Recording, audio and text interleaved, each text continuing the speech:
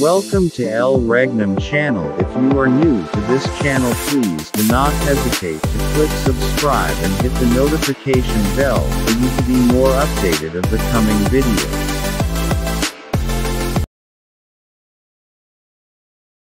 Ito mga isli pero wala ka balo nga sa kasing kasing ah unsa ni ka importante para sa iya ini na event ko man no Ah ini usab na to mga municipal coordinator diri sa Gapa no ini si ah ini si Mamigila no sa Losa. Ini isa pa nato mga coordinator kay banan mga barangay coordinator. Then ang ato mga kaibanan na mga barangay coordinator sa dito sa General Lona sa Nandapa. Del Carmen no? Del Carmen? Okay so anato bisita ko ma anato welcome anato Tita o sa tuwang ah, Board of Directors sa sharing ko, Mr. Nugibi, ag si, si Carlos, si Carlito, si Nunes. sa coordinator dito yun sa munisipyo. Kinangmanin daw si Janan Binyo para sa umat. Doon man, lago na dito pa man Vice Mayor. Kay si Jaray makahatag ng authority kay Malirin Mayor. So yan din magdugay. Ang tubag ang iya hangjo na makahatag ng Binyo. Diti na inipalampakan nato si Mayor sa Mayor.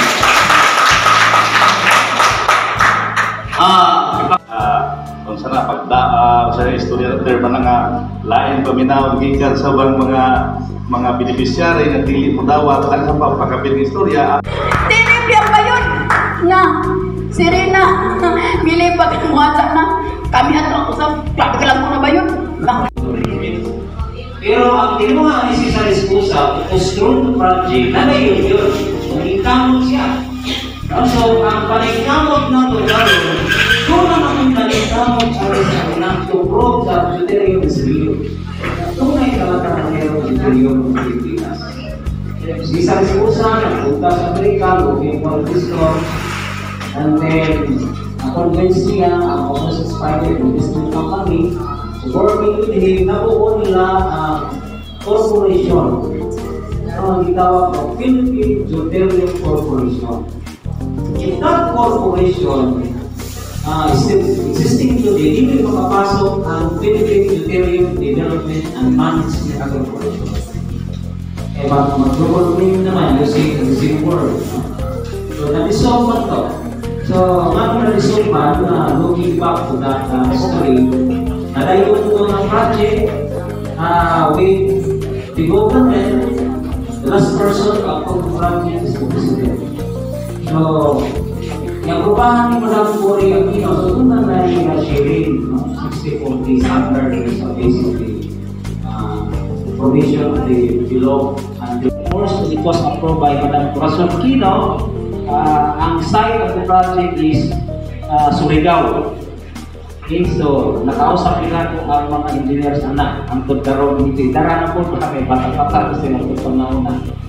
So napustro ang project, wala nila maprehem nga kusog dahil kayo ang pressure sa ilalong sa dagat. Ang pani, nga mukapin.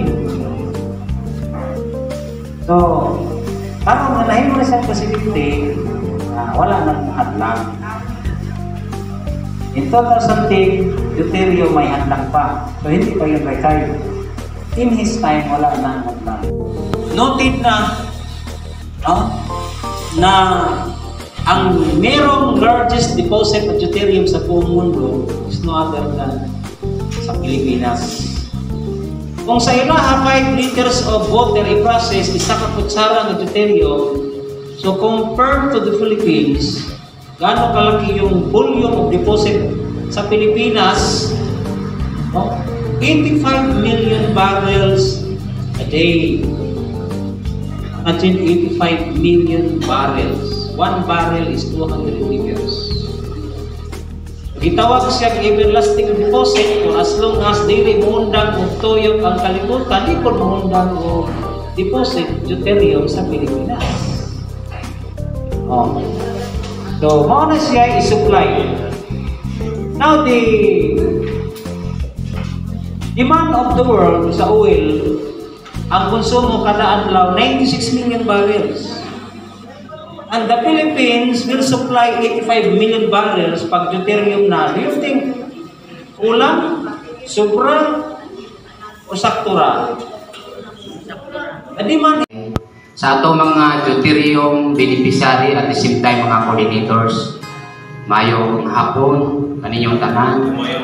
Unang-una sa among ah, sa atong uh, proponent, founding chairman, Manari Pilimon Mondong Riamunansa, sa iyang 12 ka mga anak ng mga ah, pundasyon sa bawat region sa buong Pilipinas, kakibat ang mga board of directors from Region 1 hanggang Region 12 o sa akong mga kauban usab na nagikan sa karaiyang uh, region from Region 2 King Edgar Leguto kauban sa iyang General Secretary Region 2 usab sa akong uh, General Secretary sa Region 9 Evangeline Ga Prosiso